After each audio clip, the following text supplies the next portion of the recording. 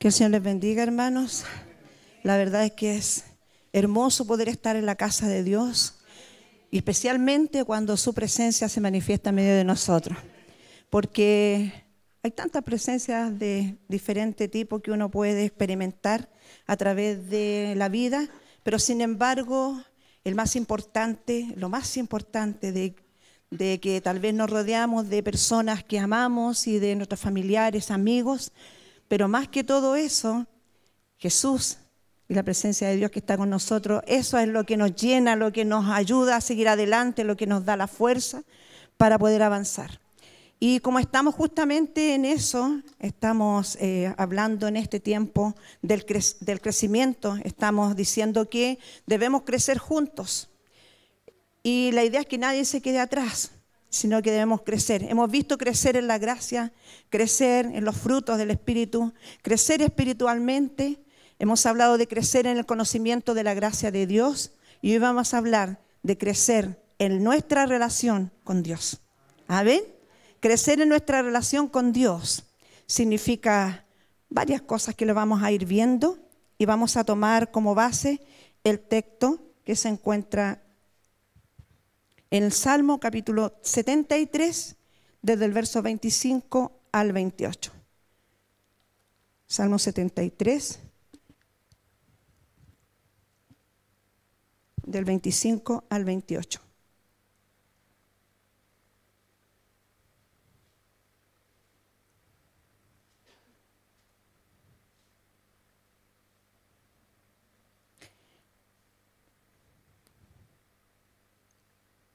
Vamos a tomar, perdón, eh, estimada Génesis, desde el 23. Mejor, vamos a tomar un poquito antes, desde el 23 al 28. Y dice así en el nombre del Señor Jesucristo. Con todo, yo siempre estuve contigo. Me tomaste de la mano derecha. Me has guiado según tu consejo. Y después me recibirás en gloria. ¿A quién tengo yo en los cielos sino a ti? Y fuera de ti nada deseo en la tierra. Mi carne y mi corazón desfallecen, mas la roca de mi corazón y mi porción es Dios para siempre. Porque he aquí los que se alejan de ti perecerán. Tú destruirás a todo aquel que de ti se aparta. Pero en cuanto a mí, el acercarme a Dios es el bien. He puesto en Jehová el Señor mi esperanza para contar todas tus maravillas. Qué hermoso, hermano. Vamos ahí mismo donde usted está, vamos a hacer una oración. Dios te damos gracias, Señor, por este hermoso tiempo de poder compartir tu palabra, de estar aquí reunidos en tu nombre y viendo lo que tú nos vas a enseñar. Pero más que oírla, queremos ponerla en práctica, porque más dichosos, más bienaventurados son aquellos que oyen tu palabra, que escuchamos tu palabra, pero la ponemos en práctica. Señor, ayúdanos a crecer en nuestra relación contigo Muchas veces tenemos muchas relaciones, Señor, que la cultivamos a través de los años, pero más que eso, es importante poder mantener una relación cercana contigo, Señor. El que se acerca a ti, dice tu palabra, Señor, recibe el bien. Gracias en medio de todos los problemas, pero tus hijos estamos contigo y tenemos una seguridad que tú, tú, tú Señor, permanece para siempre a nuestro lado. Gracias en el nombre de Jesús. Amén. Den un fuerte aplauso al Señor, amén.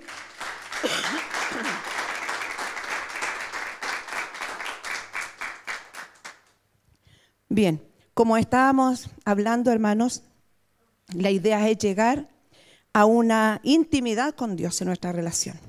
O sea, hay que pasar los diferentes procesos, como cuando uno va creciendo. Asimismo, de la misma manera, uno debe ir creciendo también en nuestra relación con Dios. No podemos, hermanos, mantener por mucho tiempo una relación, em, así como podríamos decir, inestable, sino que al contrario, a medida que vamos creciendo, a medida que vamos estando más tiempo con Dios, nuestra relación con Él debiera ser mucho más profunda en el tiempo. No podríamos quedarnos como niños siempre, así como los niños crecen en forma impresionante. Generalmente nosotros vemos a nuestros hijos o a los, la mayoría de los hijos nuestros hermanos y uno los ve tan pequeños y después ya, bueno, yo con mi estatura además casi todos me pasan y otros me sobrepasan en estatura. De la misma manera nosotros debemos crecer en nuestra relación con Dios. Cuando uno está pequeño, obviamente no tiene tal vez tanta palabra, pero nosotros cuando estamos mucho tiempo con nuestros hijos o con algunas personas, especialmente con nuestros hijos cuando son pequeños, a veces alguien dice, ¿qué dijo? Y la persona no entiende, pero el que está con él y nosotros como mamá comprendemos perfectamente el idioma que hablan ellos, aun cuando no se le entienden las palabras, pero eso lo hacemos porque pasamos tiempo con ellos. Entonces sabemos sus gestos y todo lo que hace. También, hermanos, ¿a qué se refiere esto? Es como una introducción. ¿A qué se refiere esto? A eh, llegar a, estar, ser íntimos de Dios significa que no debiera ser una relación superficial. Yo anoté algunas cosas ahí para que no se me fueran las ideas de todo lo que Dios me daba en el momento que estaba viendo lo del mensaje. Qué hablar, qué decirle a los hermanos. Para nosotros, para todos, obviamente. Entonces dice, no tiene que ser una relación superficial que dependa de las circunstancias que vivamos o del contexto. Como muchas relaciones que a veces, hermano, por diversas situaciones se experimenta, se experimenta a veces algunos problemas y, y esa relación a veces se rompe. Pero con Dios no debe ser así, hermanos. Porque los hombres, dice la palabra, que nosotros fallamos.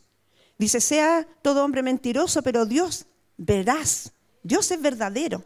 Cuando usted a lo mejor instaura una relación con alguien, con algún familiar, con una persona, puede ser que en algún minuto lo defraude. Y eso ocurre porque somos personas humanas y nos equivocamos y a veces dañamos. Pero Dios no, hermano. Entonces eso es lo más importante que usted debe pensar, que si nosotros eh, crecemos nuestra relación con Dios, obviamente nunca, hermano, pero nunca vamos a ser dañados. Así que usted puede confiar plenamente que Dios no lo va a traicionar, ni va a hablar más de usted. ¿Se fija? Como a veces pasa en algunas relaciones. Cuando se rompen, saca todo lo feo de uno, ¿se da cuenta? Y a veces se sale a, relucir por ahí. Pero sin embargo, Dios no hace eso. Entonces, ¿por qué no avanzamos en esa relación? Que no me va a dañar, al contrario, me va a ayudar. Entonces, una relación que vaya avanzando, hermano que no dependa de la circunstancia, sino una relación profunda, un conocimiento de Dios así al extremo, al hueso, como podríamos decir, eh, y crecer en esa relación que, aunque pasemos problemas, aunque estemos en momentos críticos, es como uno dice, las buenas y las malas, estamos juntos. Así con Dios. No cuando está todo bien. Señor, mira, parece que no me escuchas la oración. Entonces ahora, ya, o me miraron mal, entonces ahora no voy. La relación tal vez con las personas se puede romper, pero con Dios no, hermanos. Con Dios no se puede romper la relación porque lo necesitamos. Se debe mantener intacta en las buenas y en las malas, hermanos. Vamos a leer Salmo 25, 14. Porque debemos tener, hermanos, llegar a tener un compromiso. ¿Se imagina usted que alguien, no sé, alguna, algún pololo, alguna polola, eh, estuviera siempre pololeando y nunca se comprometiera? Yo creo que no, no, no hubiese, yo no hubiese hecho eso por lo menos. O se compromete en el tiempo ya y avanza la relación o, o no. Quiere decir que no le importa. Imagínese uno pololeando 10 años, 12 años, 15 años y todo, todavía en el mismo pololeo y no hay un compromiso mayor, no hay una cercanía más profunda. Eh, también, hermanos, con Dios hay algunos que pololean años con Dios, hermanos si pudiéramos llamarlo de esa manera. Y no se avanza en la relación. Tiene que, se tiene que avanzar en la relación. El Salmo 25, 14 dice la comunión íntima. ¿Se fija? Uno tiene que llegar a eso. Crecer es llegar hasta tener una comunión íntima de Jehová. Y dice la comunión íntima de Jehová eh, es con los que le falta, con los que le temen. Y a ellos, dice, hará conocer su pacto. Quiere decir que cuando es más profunda, Dios a los íntimos, a los que tienen una relación, una comunión íntima con Él, entonces le da a conocer, le revela muchas situaciones que van a ocurrir, que nos, nos enseña el camino para seguir, porque hay una permanencia, porque hay una estabilidad en la relación. No hoy día sí, mañana no, hoy te quiero y mañana no te quiero. No, no es una relación inestable, sino que es una relación permanente. Entonces, hermano, es ¿qué significa tener, crecer en la, en la relación? Es llegar a conocerlo tanto que sé todo de él, lo que le gusta, lo que hace, cómo es. ¿Conocemos así a Dios? A veces nos falta y por eso es que tenemos que crecer. Eh, lo que le agrada.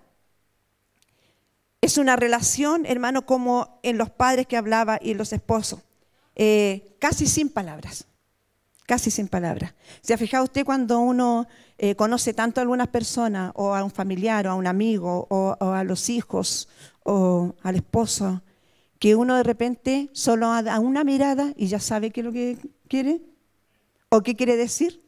O los hijos, uno da una mirada o un gesto y ya saben qué es lo que uno está diciéndoles.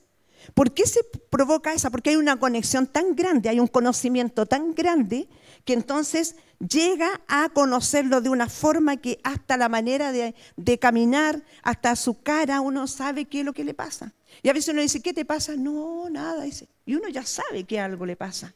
Porque uno conoce, porque hay una relación con esa persona. Así quiere Dios que nosotros tengamos una relación con Él.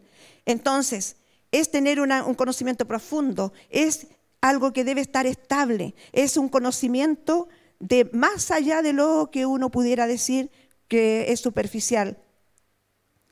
Es involucrar a Dios en toda mi vida.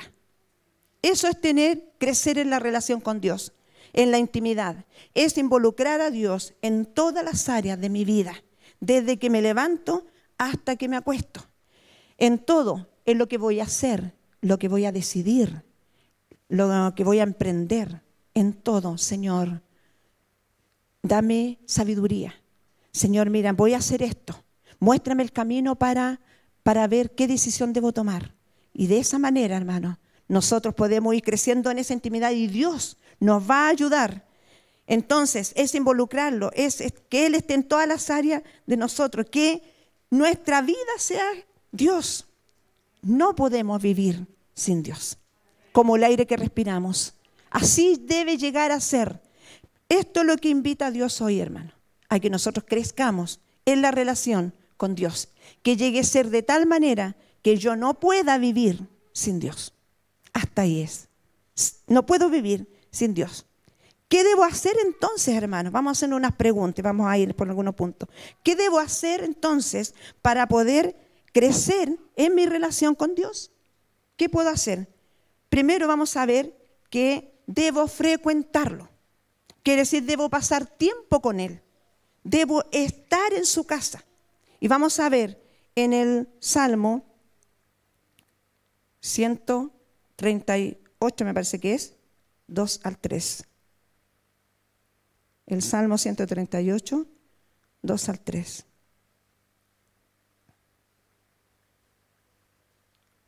Dice, me postraré hacia tu santo templo y alabaré tu nombre por tu misericordia y tu fidelidad porque has engrandecido tu nombre y tu palabra sobre todas las cosas. Entonces dice, me postraré, significa que yo debo estar en el templo para adorar a Dios, me debo acercar al Señor. Vamos a ir rápidamente a los textos siguientes. Quiere decir, hermano, que nosotros no podemos estar sin congregarnos. No debemos estar sin congregarnos, debemos frecuentar a Dios. Los discípulos también después de Jesús resucitado, cuando se aparece a ellos, cuando Jesús se va al cielo, cuando le dice volveré, dice la palabra que los discípulos permanecían en el templo, hermanos. Después que Jesús ya no estaba, también Jesús estaba en el templo, ¿recuerdan eso ustedes yo creo? Que dice que Jesús desde niño estaba en el templo y leía las escrituras a las personas que eran eminencia en cuanto a la palabra de Dios. Y él estaba en el templo, Jesús siempre. Y también los discípulos, después que Jesús se va al cielo, después de resucitado, dice que los discípulos continuaron lo mismo que Jesús hacía y ellos se reunían en el templo. El único momento que ellos no podían reunirse en el templo, pero no dejaron de congregarse, fue cuando vino la persecución de los primeros cristianos. Entonces ellos tuvieron que arrancar.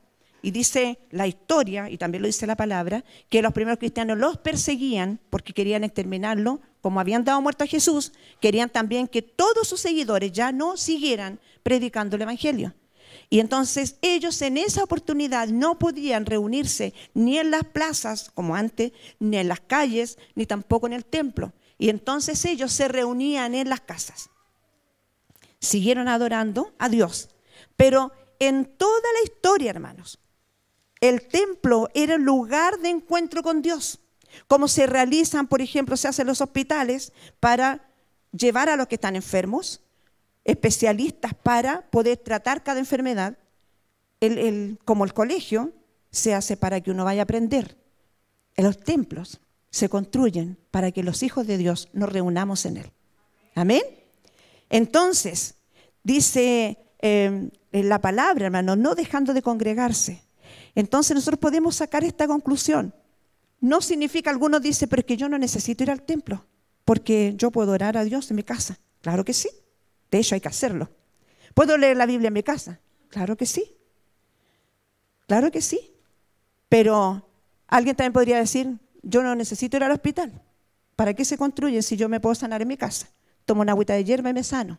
Me tomo alguna aspirina y me sano. Y puedo hacer muchas cosas. Tampoco necesito ir al colegio porque yo puedo aprender en mi casa. Puedo leer, puedo buscar en Google. Pero la sistematización, hermanos, el compromiso de estar es diferente. Entonces vamos a verlo, hermanos, ahí que cómo lo hacían los discípulos. El texto Lucas 24, 52 y 53.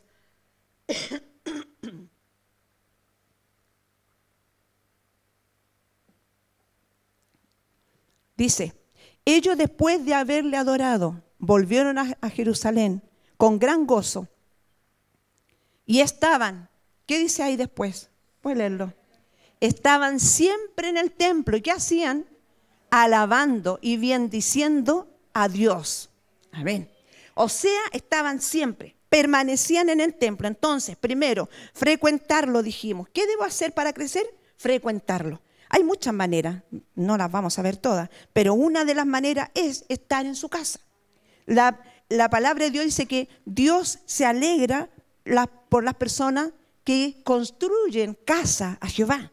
Porque en esa casa donde nosotros nos alimentamos, donde tenemos comunión unos con otros, donde escuchamos su palabra, donde podemos orar, podemos cantar juntos y crecemos en el conocimiento de Dios ahí. Entonces, vamos a, a ver otra más que dice, mantener una comunicación con Dios. ¿Cómo puedo crecer? Frecuentándolo. ¿Cómo más? Manteniendo una comunicación con Dios.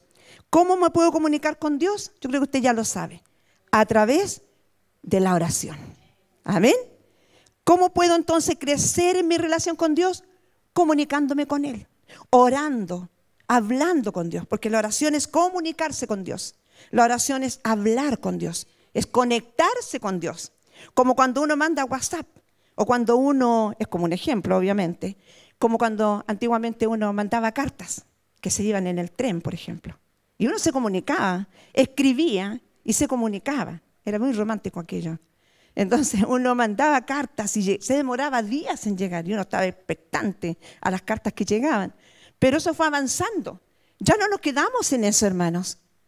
Esa comunicación fue avanzando. Ahora está, pero eh, al minuto. ¿Se fijan?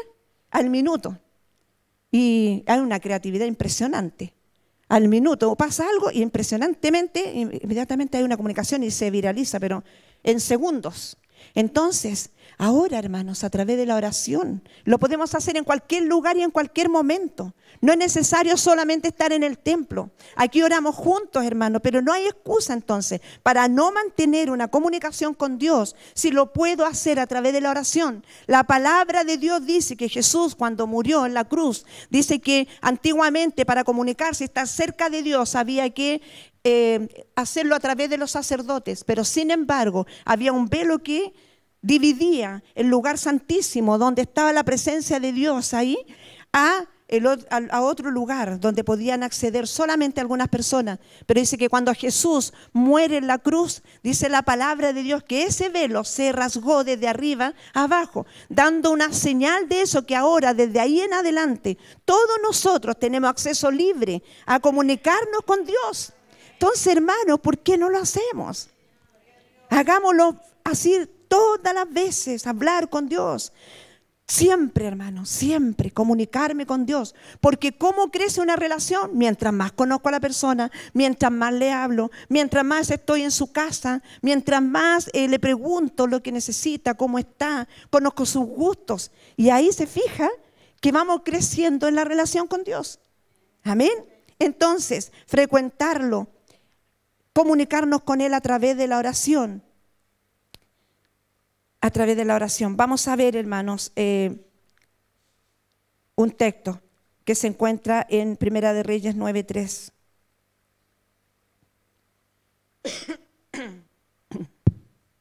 Hay un texto que no lo vamos a leer porque la verdad es que es difícil a veces poder, eh, uno se entusiasma tanto buscando textos que de repente después no sabe cuál colocar.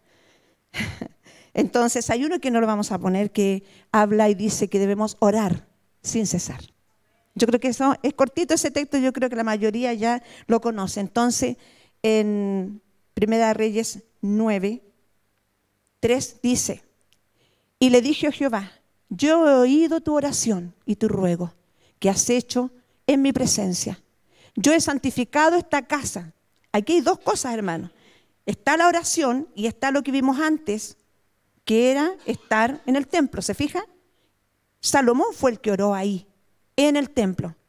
Y Dios escuchó su oración. Dice, entonces, ¿qué has hecho? Dice, en mi presencia. Él escuchó la oración que había hecho en su presencia. Yo he santificado esta casa, se refería al templo que habían construido, que tú has edificado, dice, para poner mi nombre en ella para siempre. ¿Se da cuenta? Este texto lo vi inmediatamente después de, lo que hablamos primero respecto al templo, porque tiene mucha relación. Está unido la oración también con el templo. Y dice, yo he santificado esta casa que tú has edificado para poner mi nombre en ella para siempre. Amén. O sea, la construcción del templo son necesarias. Y dice, en ella estarán mis ojos y mi corazón. Qué lindo, hermanos. A mí me remueve de verdad, hermano, mis emociones y mi corazón al escuchar esto. Dice que Él estará para siempre y que sus ojos estarán sobre nosotros acá y también su corazón. ¿Se da cuenta que importante es realizar todo esto que estamos viendo para crecer en nuestra, eh, relación con Dios? Otro texto, Salmo 88, 13. Vamos a ver varios textos, hermano. Salmo 88, 13. Dijimos que nos podemos comunicar con Dios a través de la oración, también a través de la palabra de Dios, porque Él nos habla. La palabra de Dios es el mensaje de Dios para nosotros. Por lo tanto, ¿cómo crezco yo en mi relación con Dios? Leyendo su palabra también. Amén. Orando, comunicándome con Dios y leyendo la palabra. Más dice, yo a ti he clamado, está hablando todavía de la oración, oh Jehová, y de mañana, desde temprano quiere decir, mi oración se presentará delante de ti. Me dice, Señor, me levanté tarde, me quedé dormido, no alcancé. Así que eh, cortito. Eh, Hola, Señor, ayúdame, gracias. no debiera ser, hermano. Debiera, debiera ser un poquito más. No digamos que vamos a orar 20 minutos, 5 minutos, sino por lo menos, hermano, una oración en la mañana. Gracias, Señor, por este día que me diste. Señor, ayúdame en todo lo que hoy tenga que vivir, a, tomar buenas decisiones. Guíame, protégeme, Señor, y ayúdanos. ¿Se fija? ¿No es hola? ¿Cómo estás? Nos vemos. Entonces, de mañana, desde temprano, oirá mi oración. Esa comunicación con Dios, hermano, hace crecer nuestra relación con Él. Entonces, mi relación con Dios crece cuando incorporamos todo lo que hemos hablado recién. Leo la palabra también, hermano. Vamos a ver Colosenses 3:16. Colosenses 3:16. Estamos empezando, ¿no, hermano? Tenga paciencia. Colosenses 3:16 dice así. La palabra de Cristo more en abundancia en ustedes, enseñándonos y exhortándonos unos a otros en toda sabiduría cantando con gracia en nuestros corazones al Señor con salmos e himnos y cánticos espirituales. Todo lo que hemos hecho acá, con salmos e himnos, hermanos, debemos también no solo cantar, no solo estar en el templo, no solo tener una relación estable, sino también comunicarnos con Dios a través de la oración, a través de la palabra. Amén. A través de la palabra. Deuteronomio 11, verso 18 al 19.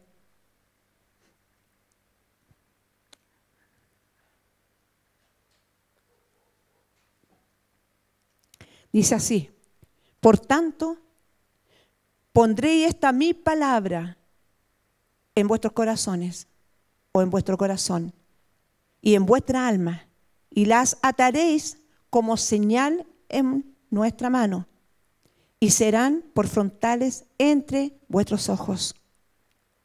Y las enseñarás a vuestros hijos, hablando de ellas cuando te sientes en tu casa, cuando andes por el camino, cuando te acuestes y cuando te levantes. Así crece mi relación con Dios. Orando, comunicándome, hablando con Él, leyendo su palabra, que la palabra de Dios esté en mi corazón, en mi alma, y que también la pueda propagar, la pueda enseñar, la pueda compartir todos los días, cuando me levante, cuando me acueste, cuando esté sentado en mi casa, cuando camine, cuando vaya por el camino, también meditando en la palabra y enseñándole a mis hijos. Para que esa palabra, hermanos, sea, sea todavía más extendida y también a ellos, a nuestros hijos, les vaya bien en esa relación con Dios. También, hermanos, otra es que Dios pide y cómo podríamos nosotros seguir avanzando en el crecimiento de la relación con Dios es amarlo. Amarlo tanto. Se da cuenta que cuando uno frecuenta a alguien, como lo que vimos primero, cuando uno frecuenta a alguna persona, mientras más está, más lo conoce y más lo va queriendo. ¿Se fija? Si uno además se comunica con la persona en forma habitual, cuando uno envía mensajes o está con ese, porque acuérdense que la palabra es su mensaje, entonces también uno empieza a tener una relación más cercana. Y entonces Dios también sabe que pide que nosotros lo amemos con todo nuestro corazón. Así crece la también nuestra relación. Porque mientras más lo conocemos, mientras más lo frecuentamos, mientras más hablamos con Él, mientras más leemos su mensaje, más lo amamos. Y esto lo vamos a ver, hermanos, en eh, Deuteronomio 6.5. Deuteronomio 6.5. Y amarás, este es un mandamiento, hermano, ni siquiera nos pide por favor, sino que Él lo manda. Dice, y amarás a Jehová tu Dios de todo tu corazón y de toda tu alma y con todas tus fuerzas. Amén. Proverbio 8.17. Proverbio 8.17. Importantísimo, hermano. Dios nos pide que le amemos con un amor muy grande, desde adentro, desde el alma. Dice, yo amo, y ahí está hablando de Dios, yo amo a los que me aman. Qué bueno es amarlo. Yo amo a los que me aman y me hallan los que temprano me buscan. Relacionado con la oración también. Se fija que todo va unido. Entonces cuando yo hablo con Dios, Él dice que me ama. Y hayan, dice, los que, que, los que temprano me buscan. Entonces yo amo a los que me aman, Dios nos ama, nos pide que le amemos, pero dice la palabra que Él nos amó primero a nosotros. Amén. Y también ama a los que lo buscan. Es como nosotros, si tenemos varios hijos y uno está más cercano y, no, y, a lo mejor eh, nos habla, eh, uno obviamente se provoca esa, ese amor eh, y una relación muy, muy profunda. Vemos otro texto en Juan capítulo 14, 21. No solamente cuando uno ama a Jesús, no solamente Él me ama, sino que también su Padre me ama. Dice, el que tiene mi mandamiento y los guarda, ese es el que me ama. Y el que me ama será amado por mi Padre. Y yo le amaré y me manifestaré a Él. Qué hermosa la palabra. Mire, las palabras, la palabra habla por sí sola casi no hay más que decir. Entonces, hermanos, es amarlo con todo el corazón y al mismo tiempo somos amados por Dios. Y lo último, comprometernos. Ahí está lo difícil, dice alguien. Ahí tengo problemas. Puedo orar, puedo leer la palabra de Dios, puedo amar a Dios, puedo comunicarme con Él, puedo tener una relación estable, puedo tal vez eh, frecuentarlo, pero compromiso. Esas son palabras mayores. Comprometerme ya como que no. Pero sin embargo, por eso la puse al final, comprometerse, realizar un compromiso con Dios. Si ya voy viendo cómo es, mi relación va avanzando, entonces hermano, ¿qué me falta? Solamente comprometerme con Él, realizar un compromiso y decir, nunca, Señor, en mi vida te voy a apartar de mí o yo me apartaré de ti, nunca, sino que siempre estaré contigo. Porque tú eres eh, lo más importante en mi vida. Entonces, comprometerse, hermano, es como decir, no pololear toda la vida, sino que en algún minuto casarse. Es como eso, ve que hay uno realiza un compromiso mayor. De hecho, cuando se casa le hacen hacer varios compromisos. Entonces, también así es la palabra de Dios. Y hay una gran diferencia, hermanos, que las personas todos fallamos, pero Dios no. Lo que les decía en la introducción, todos fallamos, pero Dios no. Por lo tanto, usted puede comprometerse con Él sin tener ningún temor que lo va a dejar abandonado, que a lo mejor lo va a tratar mal, que tal vez eh, en un minuto usted no va a saber eh, dónde está, que no, no, no lo va a conocer. No, Dios es fiel. Dios es fiel. Y dice que Él con amor eterno te ha amado, dice la palabra. Con amor eterno te ha amado. Entonces, ¿qué pide Dios de nosotros? Que le amemos también a Él. Y cuando le amamos a Él, lo frecuentamos. Cuando le amamos a Él, leemos su palabra porque quiero saber qué me dice mi amado. ¿Qué me dice Dios en su palabra? Entonces, la mayoría de las personas no quisieran comprometerse. Dicen, mejor no voy, no voy a ir mucho porque si no me voy a comprometer demasiado. Después me van a exigir mucho. Hermano, la exigencia de Dios es lo mejor que nos puede pasar. Porque si cumplimos y obedecemos su palabra, seremos eternamente felices. Si sufrimos aquí, dice, reinaremos allá. Mientras estemos en el mundo, dice, tendremos aflicción. Pero dice, confiar, porque yo he vencido al mundo. Voy pues a preparar lugar para ustedes, para que donde yo estoy, ustedes también estén. O sea, hermano, hay un seguro de vida eterna impresionante, ah, según el contexto que vivimos. Es otro tipo de pensión eterna, vivir feliz para siempre. Amén. Es así que yo la creo con toda mi alma, hermano, que está en la palabra del Señor. Entonces yo me comprometo nomás. Me comprometo con Dios. Oro a Él. Voy a su casa. Leo la escritura, hermano. Compromiso con Dios.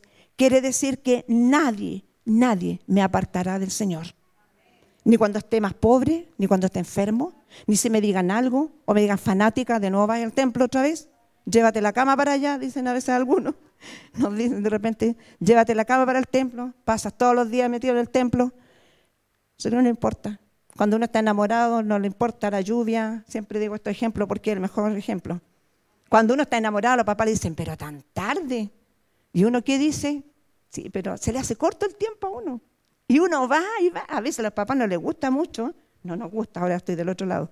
No nos gusta mucho, pero, pero ¿cómo otra vez vas a ir para allá? Y no lo viste ayer nomás. O no la viste ayer, pero está tan enamorado que se le hace poco y va de nuevo. Pero mira, hace frío. No, pero no importa. Yo en algún momento le dije a usted, me reunía una vez, me junté en la plaza, me y se puso a llover. ¿Te cree que a nosotros no importó? Estábamos ahí, en plena lluvia ahí, sentados en un banco de la plaza. Porque cuando hay ese amor, hermano, y ese compromiso, uno no importa lo que le digan. Si me dicen que soy fanática porque voy a la casa de Dios, no importa que me lo digan. Yo sé que con Dios he sido victoriosa. Entonces, a mí, ¿quién me va a sacar eso, hermano? Nadie, aunque me digan fanática, ah, esta cuestión ya está de pasado de moda y todavía siguen creyendo en Dios. Yo digo, sí, todavía creo. Como alguien cuando me dijo, ¿y cómo sabemos que lo que dice la Biblia es verdad? Y si la escribieron las personas. Y yo le dije, ¿y cómo yo sé si la historia de Chile es verdad? se lo escribieron las personas. A lo mejor lo que hice ahí es mentira.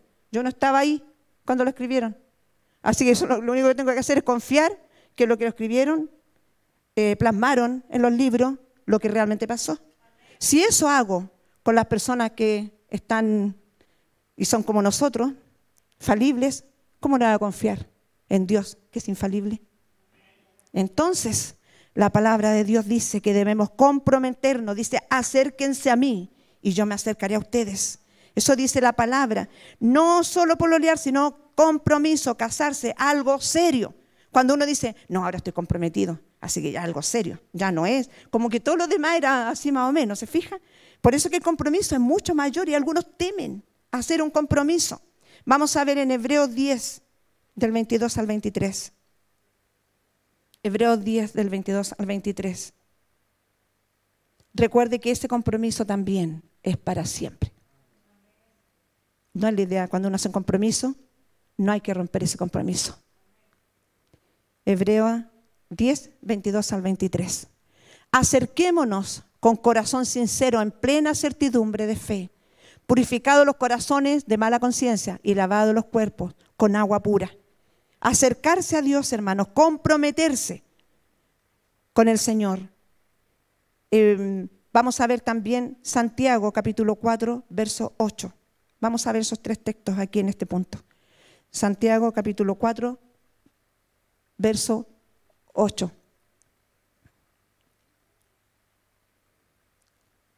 Acercaos a Dios y Él se acercará a ustedes. Pecadores, limpiad las manos y vosotros lo de doble ánimo, purificar vuestros corazones. Cuando habla así, quiere decir que cuando yo me comprometo, se fija que hay, algunas eh, exigencias que pone ahí, porque cuando uno está comprometido debe estar eh, comprometido al 100% en todas las áreas de nuestra vida. Por eso dice que nos limpiemos, que al acercarse a Dios debemos tener otro tipo de conducta, porque ya hay un compromiso. No puedo andarme a lo mejor eh, riéndome o juntándome con otras personas que no están dentro de lo que eh, los parámetros que uno debiera tener, porque significa que entonces estoy haciendo dos cosas al mismo tiempo y una no se relaciona con la otra. Y, hermanos, Primera de Corintios 6, 17. Primera de Corintios, Corintios 6, 17.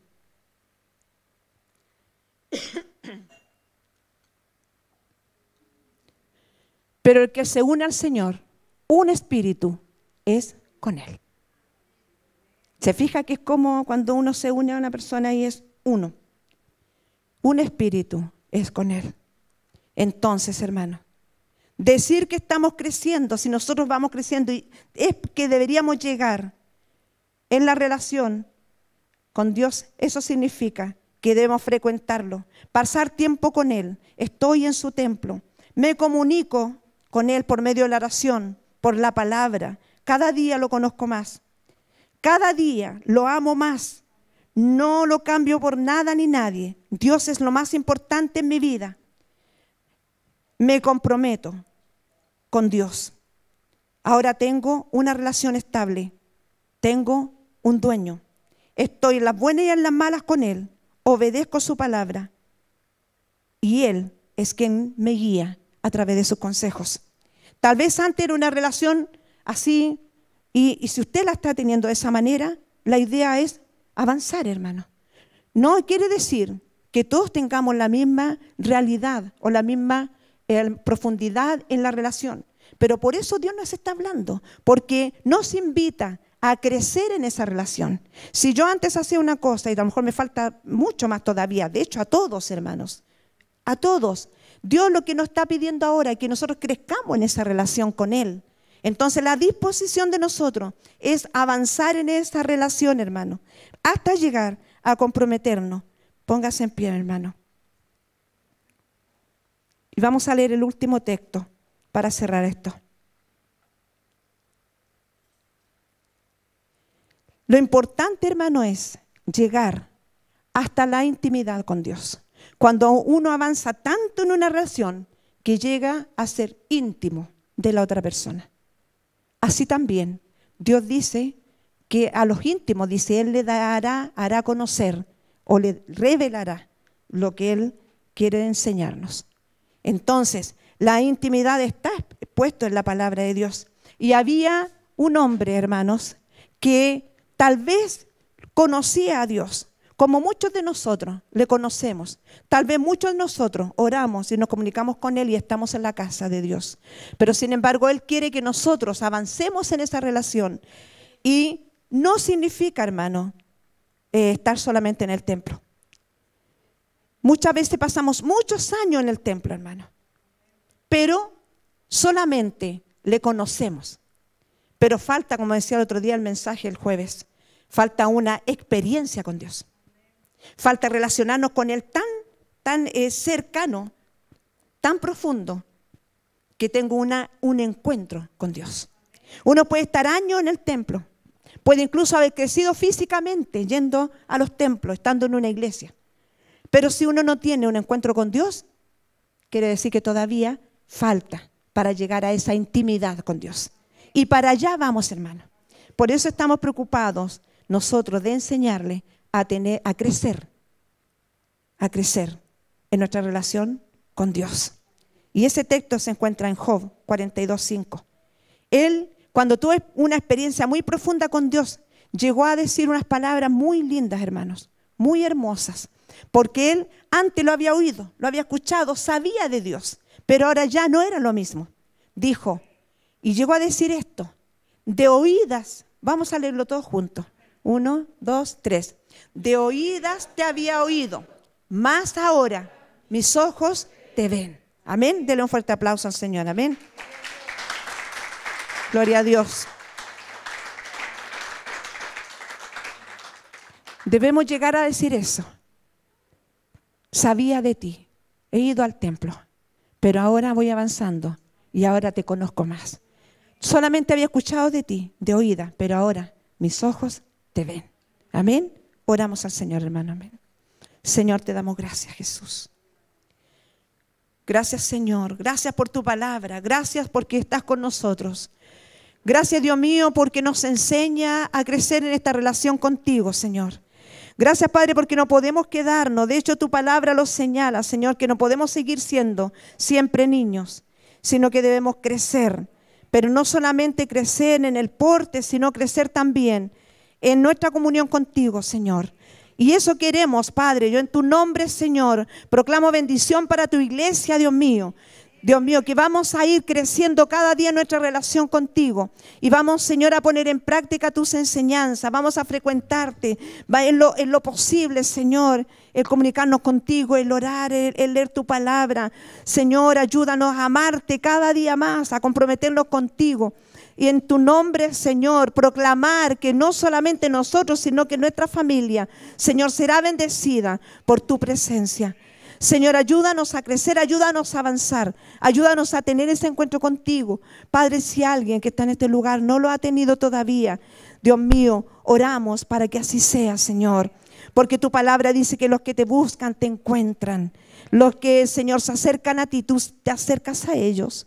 Señor, y tenemos la disposición de estar contigo siempre, Padre. Gracias, Señor, en el nombre de Jesús. Amén y amén.